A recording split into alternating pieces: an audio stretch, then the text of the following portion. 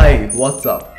So I asked 31 Google Summer of Code mentees and of which 27 of them started their coding journey or rather the open source journey with Hacktoberfest.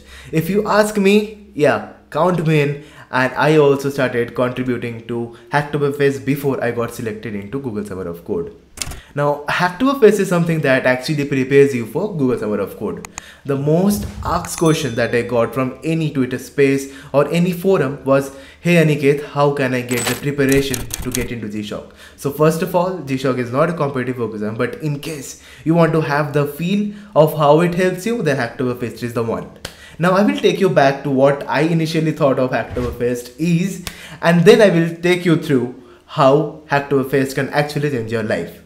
So I started contributing into Hacktoberfest in the year 2020. So initially I contributed just to get this particular t-shirt because at that point of time I really felt it is vital to get the t-shirt because that's something will make you stand out and and and, and a free t-shirt right? But with time things changed and when i realized that hacktoberfest is way more than just earning a t-shirt.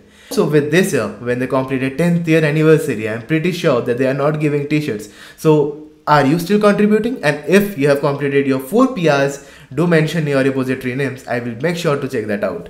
Now I will tell you there are 5 reasons why you should contribute to Hacktoberfest to get into GSoC. See, there are other ways as well. I would not say this is the only way, but 27 of 31 of Google Summer of Code mentees has chosen this path. So maybe this has something special in it, right?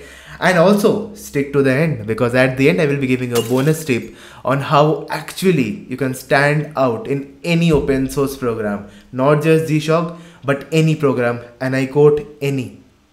So the first thing, you get a lot of good first issues. Now, when you're planning to get into Google Summer of Code, you need to have the experience of sending PRs and getting them merged. But the problem arises that a lot of us, being the first time contributors, don't have a lot of experience handling difficult issues or difficult PRs.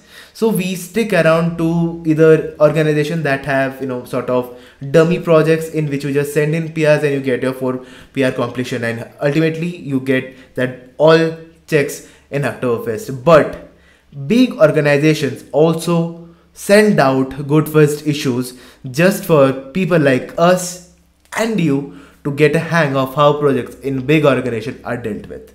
Secondly, it's easier to get your PR merged in Hacktoberfest because a lot of mentors and maintainers are constantly working during the Hacktoberfest because they just want to make sure that you have the best experience.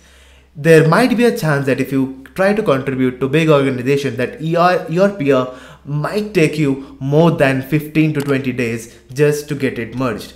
But during Hacktoberfest, people are super pumped and they review your PRs quickly and they also have the thing in their mind that most of the people who will be sending out the PR will be beginners. So there is a high possibility that they might not be fulfilling all the required checks. So they also become a bit more reliant. Thirdly, not only Hacktoberfest gives you stickers and t-shirt, you can see all the stickers that I got over here in this particular laptop, but also there are organizations who are providing you with t-shirts and stickers. But getting the t-shirt and sticker might not be the only motivation, but it can act as a huge push when you're starting out. Because when I started out, I just wanted ki I get a t-shirt. So in the process, I started sending random PRs. To be very honest, I sent out random PRs. But when a big organization makes sure that you get a t-shirt when your PR is merged, I'm pretty sure that you will try to get your PR merged in that particular organization. And when you try that, you also get to know how big projects are working. So the rewards also helps you push and gives you more energy to get into the open source journey. Fourth, a lot of big organizations come in different sort of open source programs. Maybe there are certain dummy programs.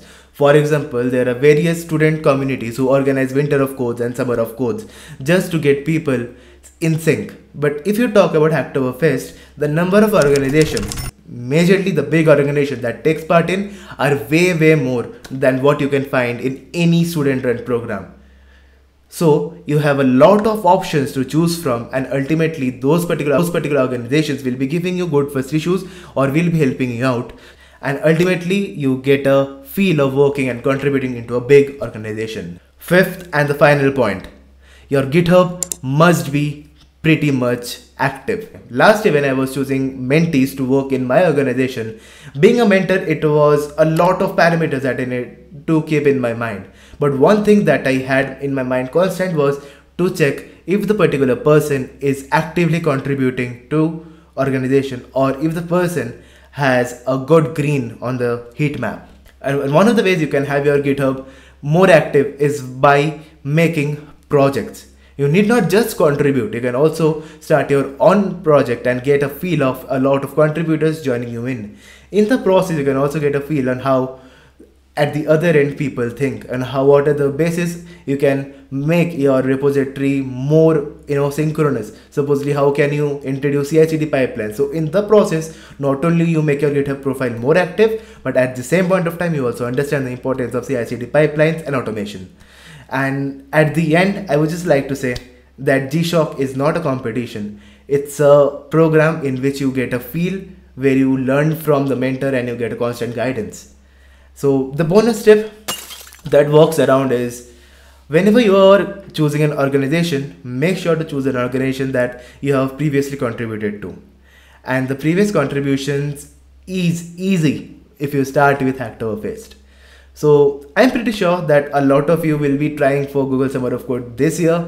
So make sure to check out the playlist that I have made and I hope you get into the program with all the right dates.